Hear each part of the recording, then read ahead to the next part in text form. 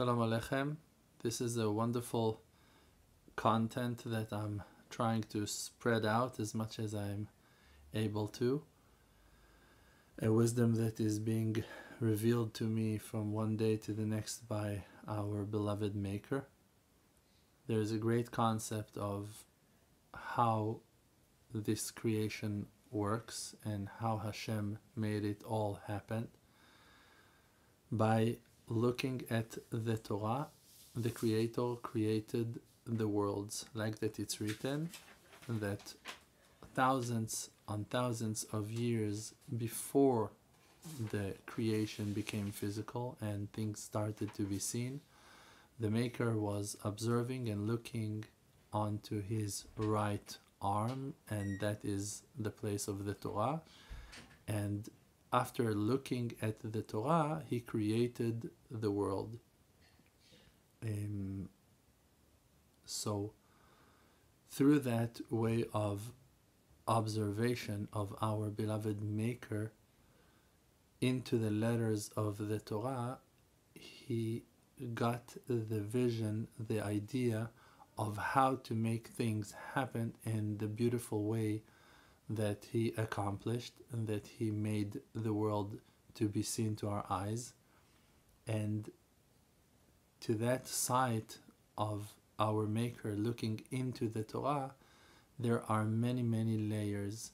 It's not like a person who sits in front of a book and reading.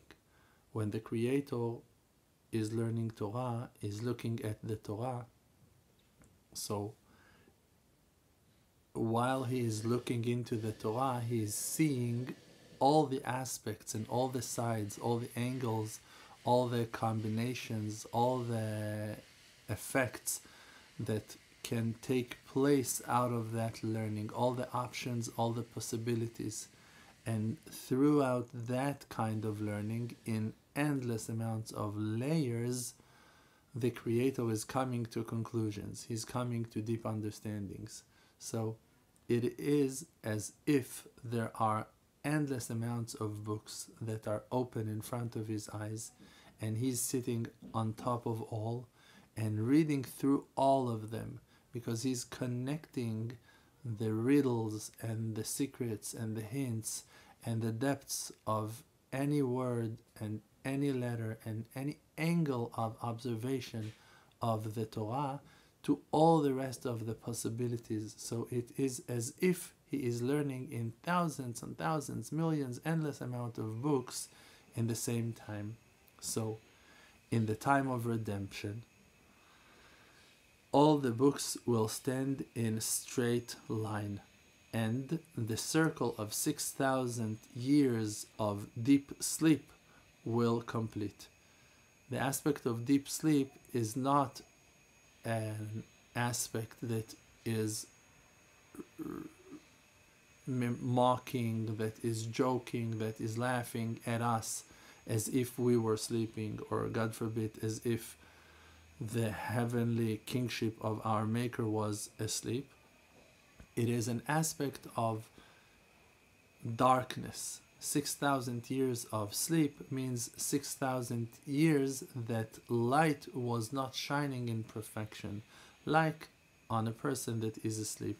That even though that he is alive, he is not fully there. He's not enjoying all the smells and all the sounds and all the sights because he is asleep.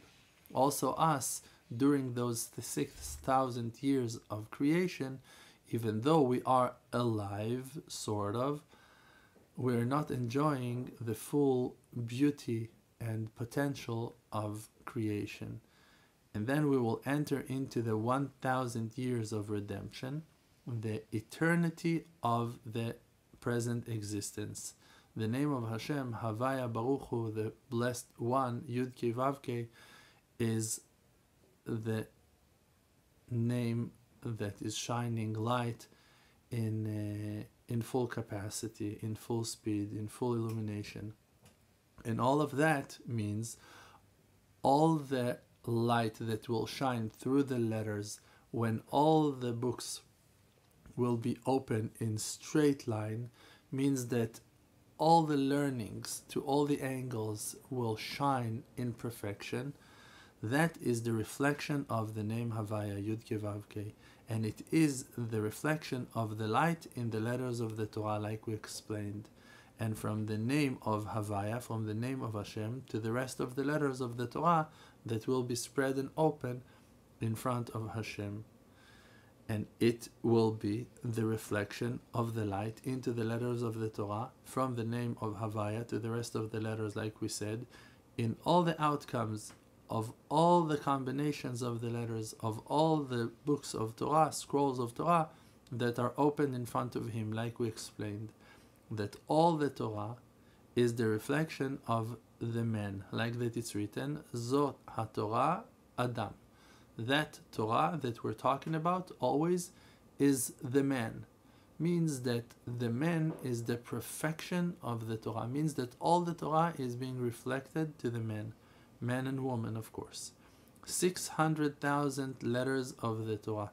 If you will count the number of letters that are in the Torah, of course, that is written in the ancient Hebrew and not in the um, different languages of translations, you have 600,000 letters of the Torah, equal to the 600,000 souls of the children of Israel that were standing in front of Mount Sinai and received the Torah from it. We are the Torah's letters reflections. We are her lifetimes.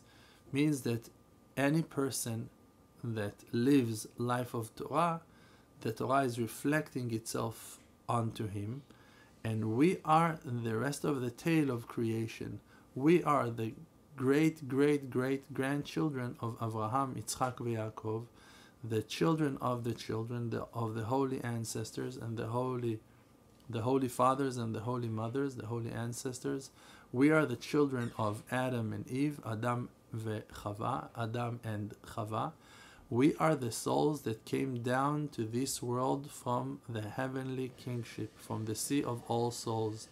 That our importance is endless, is so great, so important that cannot be described. We are the soul. We are the soul itself. We are the essence that is existing in one time, and we are shining the light of our Maker to anyone that is surrounding us. As long as you are connecting yourself to the light of the Torah, the Torah is shining through you. And when the Torah is shining through you, it shines out to the people who are surrounding you, to the nature that is surrounding you, to the animals, to the trees, trees, to the to the walls of your house, to the walls of the places you're entering, to the streets, to the alleys, to the sky. You are a lighthouse of light that is being sent through the crea- through the letters of the Torah by the Creator. And we are the essence that is being existed, that is taking place. We are the soul itself, and we are the expression of the existence of the blessed present one, the Creator, our Maker. Thank you.